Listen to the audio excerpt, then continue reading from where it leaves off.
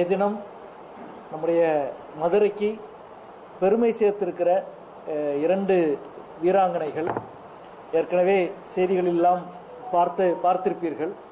சர்வதேசிய கால் குத்துப்பந்தாட்ட போட்டியில் தங்கப்பதக்கத்தை வென்றிருக்கிற மதுரை அரசு மீனாட்சி கல்லூரியினுடைய மாணவி மூன்றாம் ஆண்டு பிபிஏ படிக்கிற மாணவி வர்ஷினி அவர்கள்.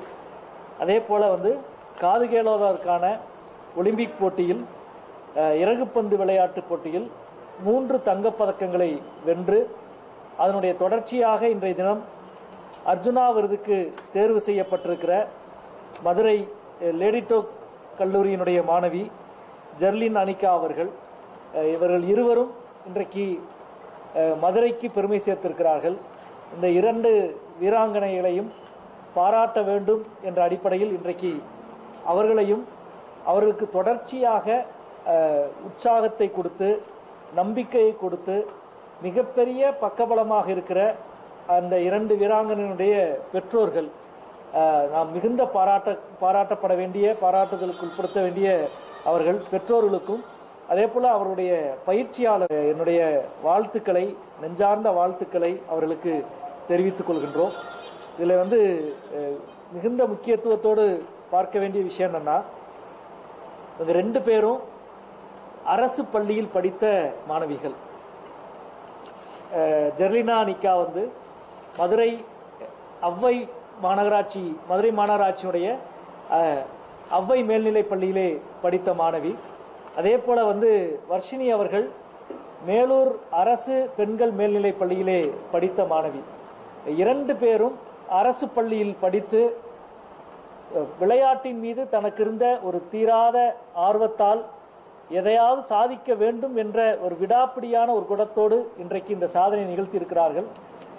மற்ற மற்றவர்களை விட அரசு பள்ளியிலே படிக்கிற மாணவர்களுக்கு விளையாட்டுகளில் கூடுதல் கவனம் செலுத்துவதற்கு பல சிரமங்கள் இருப்பதை நாம் பார்க்கிறோம். அதையெல்லாம் மீறி இன்றைக்கு ஒரு கிராம பகுதியிலே இருந்து கூட வர்ஷினிகிட்ட இப்போ தான் பேசிக்கிறேன் காலையில் ஐந்து மணிக்கெல்லாம் அவங்க அவங்களுடைய ஊர்லேருந்து வந்துடுவாங்களாம் வர்ஷினியிலேருந்து வெள்ளரிப்பட்டியிலேருந்து ஐந்து மணிக்கு வந்து கார்ப்பரேஷன் கிரவுண்டில் தான் மாநகராட்சியினுடைய அந்த வெளி மைதானத்தில் தான் ஆறு டு ஏழரை வந்து பயிற்சி எடுத்துட்டு அதுக்கு பிறகு கல்லூரிக்கு போ போகிறோம் அப்படின்னு சொல்கிறாங்க தொடர்ச்சியாக ஒரு மிகுந்த ஈடுபாட்டோடு இன்றைக்கு இவ்வளோ பெரிய ஒரு சாதனை செய்திருக்கிற இந்த ரெண்டு வீராங்கனைகளையும் மதுரை மக்களின் சார்பில் மன மனமார்ந்த வாழ்த்துக்களை நாம் தெரிவித்துக் கொள்கிறோம். இல்லை வேற ஒன்றும் இல்லை. இப்போ நாங்கள் இப்போ என்ன யோசிச்சிருக்கோம்னா இப்போ கூட பேசிக்கிட்டு இருந்தோம். இப்போ மீனாட்சி கல்லூரியிலே வந்து விளையாட்டுக்கு போட்டிகளில் பங்கெடுக்கிற மாணவிகள் காலையில் அஞ்சு அஞ்சரை ஆறு மணிக்கெலாம் கிளம்பி வந்துடுறாங்க. அவங்களாம் பெரும்பாலும் அரசு கல்லூரி மாணவிகள் வந்து மிகுந்த பின்தங்கிய பகுதியிலேருந்து வர்றாங்க. பெரும்பாலானவர்கள் வந்து காலை உணவு ஏன்னா அஞ்சு மணிக்கு வந்து வீட்டில் யாரும் சாப்பாடு செஞ்சு கொடுத்து விட முடியறதில்ல.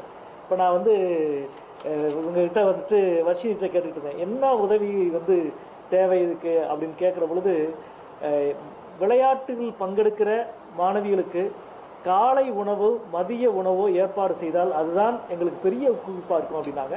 இப்போ கண்டிப்பாக மதுரை நாடாளுமன்ற உறுப்பினர் என்ற முறையில் சொல்கிறேன் மதுரை மீனாட்சி கல்லூரியில் இப்போ அவங்களுடைய விளையாட்டுத்துறை ஆசிரியர்களாக வந்திருக்கிறாங்க. எவ்வளோ பேர் விளையாட்டில் ஈடுபடுறவங்களா இருப்பாங்கன்னு கேட்டுக்கிறோம்.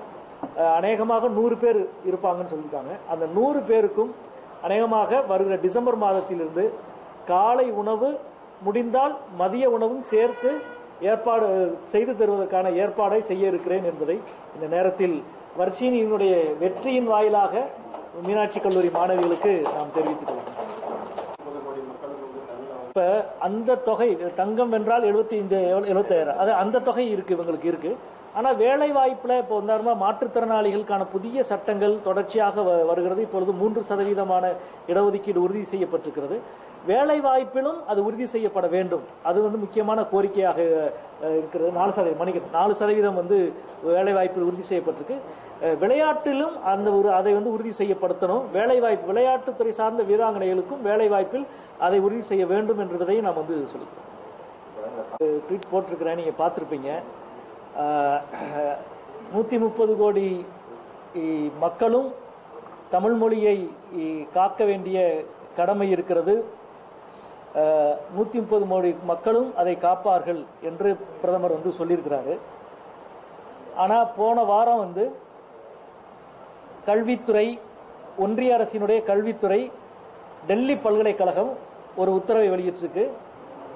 டெல்லி பல்கலைக்கழகத்தில் இளங்கலை படிக்கிற மாணவர்கள் ஹிந்தி கட்டாயம் தேர்வு செய்யப்பட தேர்வு எழுதி வெற்றி பெற வேண்டும். ஹிந்தி கட்டாயம் என்று ஒரு உத்தரவை வந்து வெளியிட்டிருக்கிறாங்க. அது வந்து மாநில அரசினுடைய பல்கலைக்கழகம் இல்லை அது வந்து ஒன்றிய அரசு நடத்துகிற பல்கலைக்கழகம். ஒன்றிய அரசினுடைய பல்கலைக்கழகத்தில் இந்தியா முழுக்க இருக்கிற மாணவர்கள் படிக்கிறாங்க. டெல்லி பல்கலைக்கழகத்தில் தமிழர்கள் படிக்கிறாங்க கேரள மலையாளிகள் படிக்கிறாங்க கர்நாடக மாநிலத்தைச் சேர்ந்தவர்கள் படிக்கிறாங்க. இந்தியா முழுவதும் இருந்து படிக்கிற மத்திய பல்கலைக்கழகம் டெல்லி பல்கலைக்கழகத்தில் ஹிந்தி கட்டாயம் என்றால் ஹிந்தி தெரியாத அனைத்து மாணவர்களும் தேர்வு என்பது பெரிய நெருக்கடிக்குள்ளாகும். எனவே ஒரு பக்கம் வந்து நாங்கள் தமிழை போற்றுகிறோம் தமிழை கொண்டாடுகிறோம் என்று வாயளவில் சொல்லிவிட்டு ஹிந்தி திணிப்பை மட்டுமே மைய பொருளாக மைய பணியாக ஒன்றிய அரசு செய்கிறது என்பதைத்தான் இந்த நிகழ்ச்சி காட்டுகிறது என்று நான் நினைக்கிறேன். எல்லா மாநிலத்துக்கும் அந்தந்த மாநிலத்தில் தங்களது வாக்கு வங்கியை அதிகப்படுத்துறதுக்கான உத்தியாக ஒவ்வொரு உத்தியை கடைபிடிக்கிறாங்க. தமிழ்நாட்டை பொறுத்த வரைக்கும் இந்தியாவினுடைய மிக தொன்மையான ஒரு மொழி தொன்மையான பண்பாடு. இங்க வந்து இதைத்தான் சொல்லி தமிழ் மக்கள் மத்தியில வந்து நாம் வந்து இடம் பிடிக்க வேண்டும் நினைக்கிறாங்க. ஆனால் சொல்லுக்கும் செயலுக்கும் பாத தூர வித்தியாசம் இருக்கு. அதை தமிழர்கள் நன்கு அறிவார்கள். இப்போ வந்து நீங்க சொல்ல வேண்டியதானே நீங்க வந்து அனைத்து ஒன்றிய அரசினுடைய அனைத்து தேர்வுகளும் அட்டவணை எட்டாவது அட்டவணையில் இருக்கிற அனைத்து மொழிகளிலும் நடத்தப்படும் சொன்னா தமிழர்களாகிய நாம் கொண்டாடுவோம் சந்தோஷப்படுவோம். ஒன்றிய அரசினுடைய பல்கலைக்கழகங்கள் அனைத்திலும் அனைத்து எட்டாவது அட்டவணையில் இருக்கிற மொழிகளிலுக்கான வாய்ப்புகளை உருவாக்குங்க. கேந்திர வித்யாலயால அந்த வாய்ப்பு உருவாக்க முடியல. எனவே இது வந்து மொழியை தன்னுடைய அரசியலுக்கு பயன்படுத்துகிற எளிய வழியை அவர்கள் மிக அதிகமாக பயன்படுத்துகிறார்கள். அதுதான் தொடர்ச்சியாக திருக்குறளை சொல்வது புறநானூற்றை சொல்வது மீண்டும் மீண்டும் உலகின் மிக தொன்மையான மொழி அப்படின்னு சொல்றது. இந்த வெறுமன வாய்ப்பந்தல் எடுக்கிற வேலை தான் இங்கே நடக்கிறது. கேரள ஆளுநர் தமிழக ஆளுநர் தெலுங்கானா ஆளுநர் பாண்டிச்சேரி ஆளுநர் அனைவரும் பிஜேபியின் பிரதிநிதிகளாக இருக்கிறார்களே ஒழிய அரசியல் சாசன சட்டம் பிரதிநிதித்துவப்படுத்துகிற ஆளுநராக இல்லை. அவங்க பேசுறது எல்லாத்துக்கும் நாம பதில் சொல்லலாம். ஆனால் ஆளுநர் என்ற பதவியின் மாண்பை இவர்கள் அளவுக்கு சிதைப்பவர்களை இதுவரை இந்தியா கண்டதில்லை. எதிரில் இருக்கிற யாரும் சிதைக்கவே இல்லை. அந்த பொறுப்பில் இருந்துக்கிட்டு அந்த பொறுப்புக்கு ஏற்ற மாதிரி பேசுங்க பேசுங்கன்னு எல்லாரும் சொல்கிறோம் இல்லை என்று தங்களுடைய பிஜேபியின் அரசியல் ஏஜென்ட்டுகளாக ஆளுநர்கள் மாறி இருக்கிறார்கள் என்பதுதான் என்னுடைய கருத்து. ஆளுகிற மாநிலங்களில் முழுக்க வந்து இந்த வேலை நடக்குது. ஒன்றும் இல்லை ரப்பர் ஸ்டாம்ப் ஆளுநர் வந்து ரப்பர் ஸ்டாம்ப் அல்ல அப்படின்னு வந்து தமிழக ஆளுநர் சொல்லுகிறார். இதே கருத்தை வந்து குடியரசுத் தலைவர் சொல்ல முடியுமா?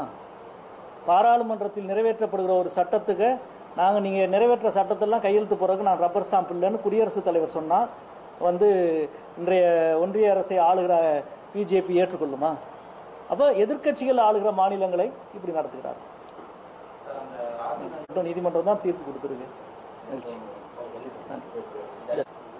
அதாவது வந்து இந்த வழக்கு நீங்கள் கேட்டதா சொல்கிறேன் வழக்கு இருபத்தி மூன்றாம் தேதி வர இருக்கு. ஆஹ், வழக்குல வந்து நானும் இணைந்திருக்கிறேன். எங்கள் இயக்கத்தின் சார்பாக மதுரை மக்களினுடைய பிரதிநிதி என்ற அடிப்படையிலும் தொடர்ச்சியாக ஒரு பண்பாட்டுத் துறையில் செயல்படுகிற ஒரு ஊழியர் என்ற அடிப்படையில் இந்த வழக்கில் வந்து இணைந்திருக்கிறோம். இன்றைக்கு தமிழ் பண்பாடு தமிழ் மரபுக்கு எதிராக ஒரு பெரும் சதி பின்னப்பட்டு கொண்டிருக்கிறது. அதன் அதனுடைய பல்வேறு விளைவுகளில் ஒன்றாகத்தான் நான் இதை பார்க்கிறேன். இது ஒரு சட்ட போராட்டம். சட்ட போராட்டத்தில் தமிழக அரசு வெற்றி பெறும். நாம் அனைவரும் வெற்றி பெறுவோம். ஆனால் சட்ட களத்தில் மட்டும் நீதிமன்ற காலத்தில் மட்டும் நடப்பதல்ல இது.